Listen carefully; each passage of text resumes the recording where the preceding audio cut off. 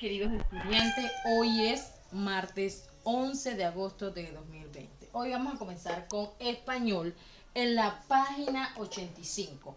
Después nos vamos a realizar en la página 154 el punto D, solamente el punto D.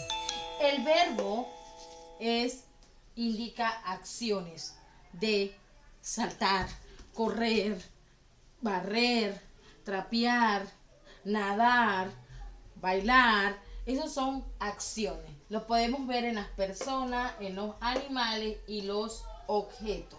Acciones, llorar, eh, caminar, dormir. Eso está dentro de una oración. La oración es de quién se habla y qué es lo que hace la acción de ese sujeto, lo que se dice del predicado. También tenemos tres tiempos. El pretérito, que sucedió antes. El tiempo presente es lo que sucedió ahora. Y el tenemos el futuro, lo que sucederá antes. Tenemos tres tiempos.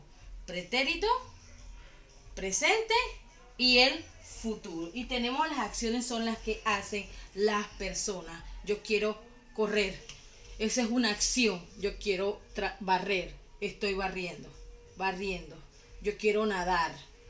Yo quiero llorar. Es una acción. Esos son los, los que nos dice de la oración. En la página 154 van a ver, hay tres oraciones, tienen que leerla y subrayar eh, la acción.